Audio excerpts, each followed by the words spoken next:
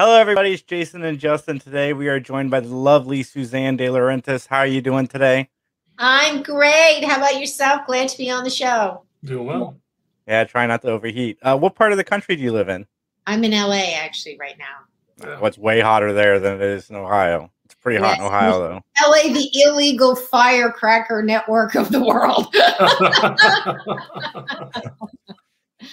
my apartment complex as well. it was last night was insane. I couldn't walk across my street without getting hit in the head by a bottle rocket. That's aggressive. Yeah. I cannot wait to talk about your Amazon series that you're doing. But um, first, I want to talk to you about some of the films that you produced and what what it's like to be a producer. Well, let's see. Um, it's extremely challenging. It can be very stressful. Um, it's very demanding. Um, kind of an old Orson Welles quote.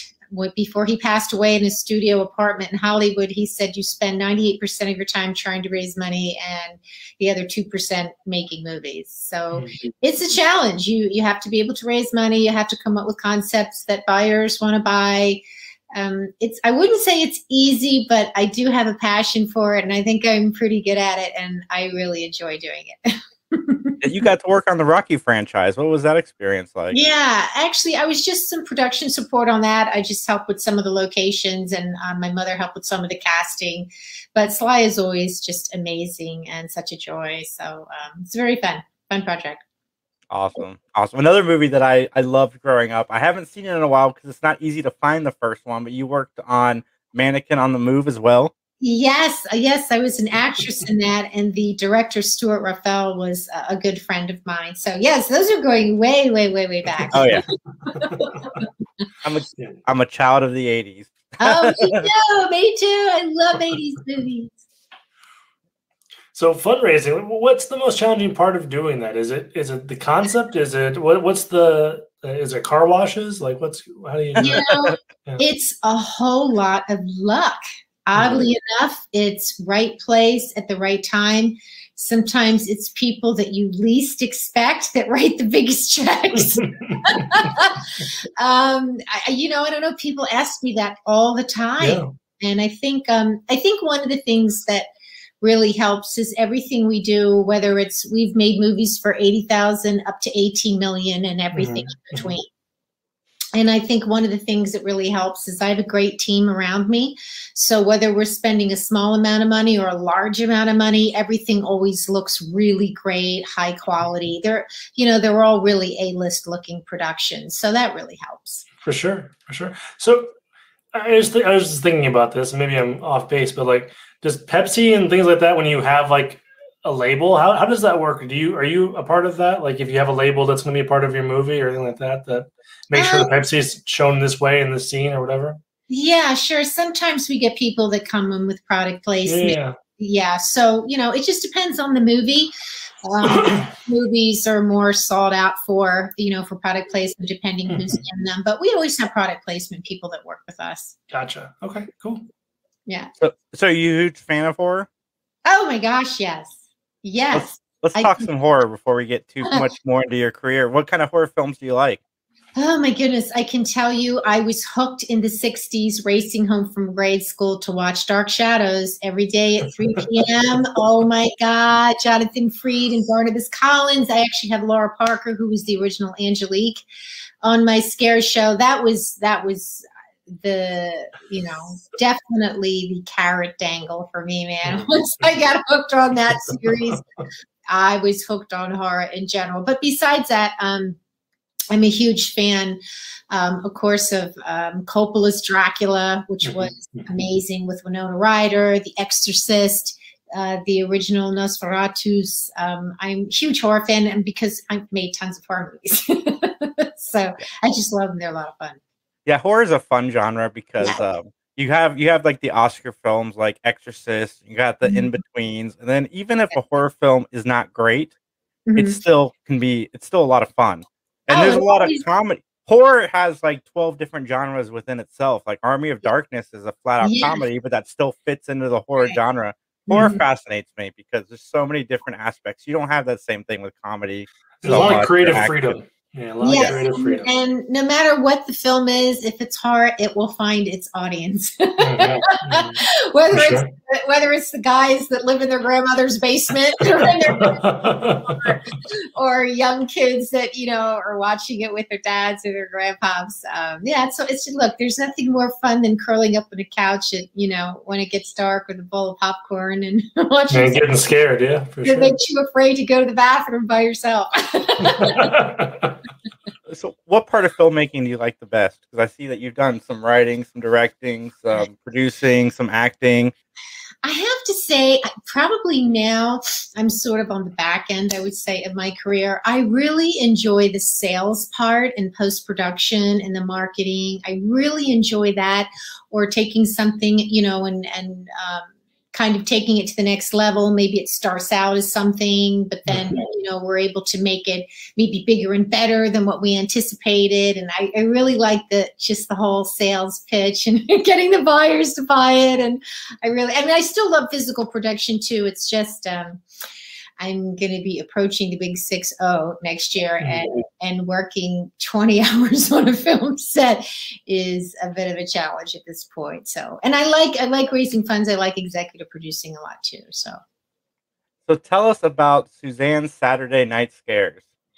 Well, I again huge horror fan, and I'm a big horror fan of classic horror movies, the ones from Hammer House, uh, the older ones from the late 60s and 70s. And I was trying to think of something that I could do now later on in my career that was less stressful, something I still had a passion for, mm-hmm. um, and something that I thought people would enjoy. And when we came up with the show, actually, the writer of the show, Lee Turner, he has his own um, show called After Hours Cinema.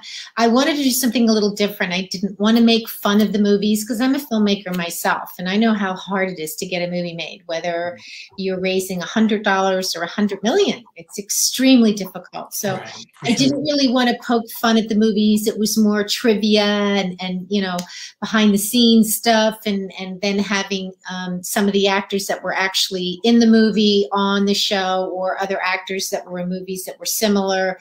So I just wanted to do it a little different, something a little different. Yeah, I love that's one of my favorite things about movies and TV shows is going back and throwing it on with like the commentaries or with pop ups. Mm-hmm. Like right. I watched yeah, bad example, but it's an example. I watched all of Impractical Jokers, and then I found out they had another version of the series with like all the behind the scenes stuff popping mm-hmm. up on the mm-hmm. screen. And mm-hmm. I, I, mm-hmm. used to listen to DVD commentaries all the time, which I should now yeah. because I work from home and I I need right. a lot of stuff to listen to, but uh, no, nah, that's that's great. I, I think that's great.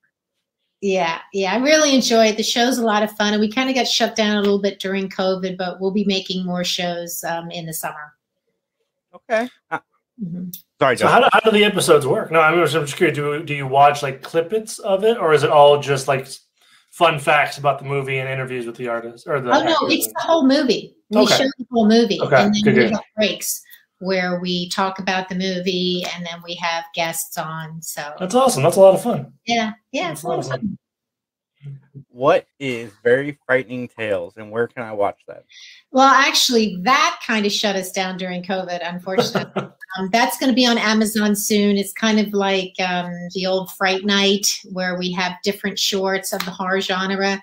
So unfortunately, we were only able to do two episodes of that before you know COVID hit. So hopefully, we'll be able to do more episodes of that in the future as well. I love that too. I can't get enough Creepshow, Twilight Zone. Yes, uh, yes, yes. any any series like that, you've got me. You've got my money. You've got yeah. my attention, my time. Because each episode resets. So if you don't like an episode, there's one right behind it that right. you can check out.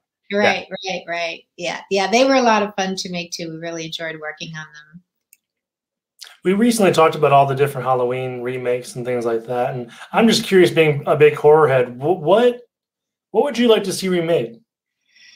Oh my gosh. Or maybe not maybe not remade, but um to piggyback on that, maybe a movie that you really like, kind of like what they did with Halloween, where they just Mm-hmm. to be creatively free, they just picked the first movie as the canon and then made the sequel Right. directly to that. Is there something like that you'd like to see? Right.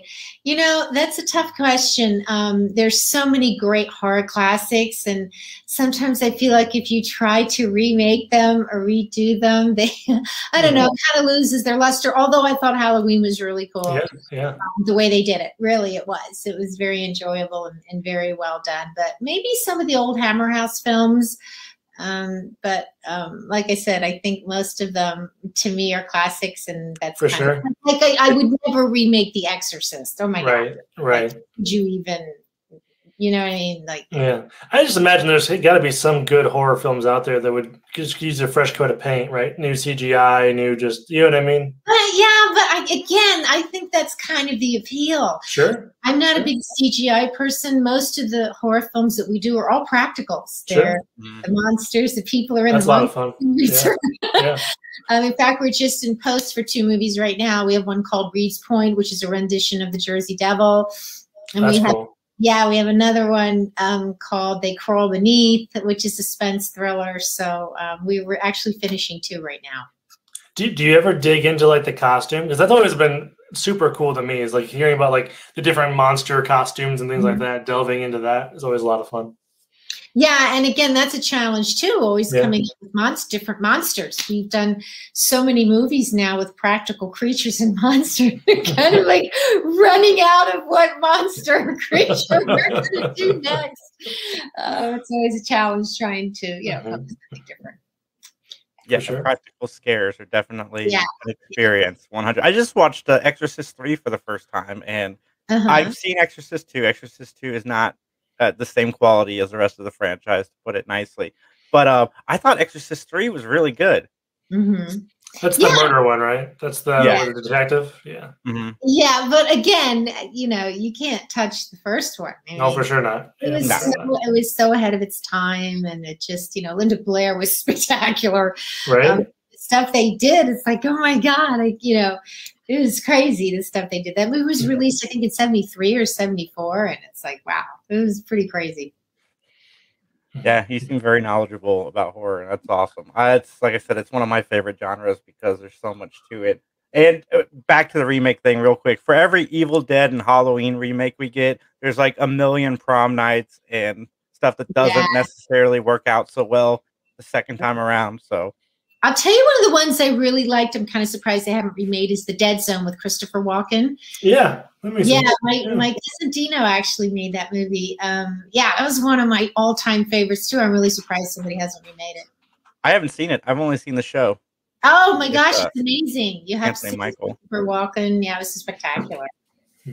I will make sure I do that because Stephen King is one of my favorite uh, horror uh, Mhm. authors and films. His films fascinate me. Uh, I like kind of when they make changes and when they don't. I'm one of the people that really like the remake of The Shining, even though it's obviously not as good as Kubrick's Shining.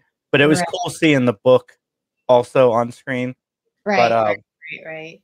I, I think we could talk to you all day. I really do. what what's what's coming next for you, Suzanne? Um, actually, we're working on a big, big show. Hmm. Um, it's the 1911 um, shirtwaist factory fire that killed 140 girls in Manhattan in 1911, and we're hoping to um, hopefully get into production for that sometime, maybe November, December. That's the big one we're working on. But like I said, we're just finishing these two and then shooting more episodes of Suzanne Saturday Night Scares. So thank you fun. guys for having me on the show. And I hope your listeners will check out Suzanne Saturday Night Scares on Amazon Prime. Where can everybody find you online? Um, it's Suzanne DeLaurentiis, SSSN, uh, Suzanne Saturday Night Scares on Instagram and Facebook, Suzanne Saturday Night Scares.